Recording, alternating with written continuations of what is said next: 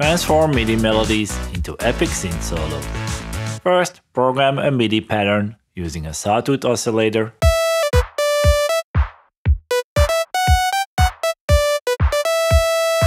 Enhance the melody with pitch bend, vibrato and glide effects.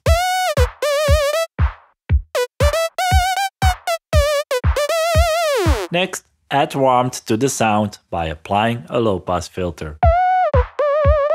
Shape the sound with distortion. And finally, polish the sound by adding chorus, delay and reverb effects.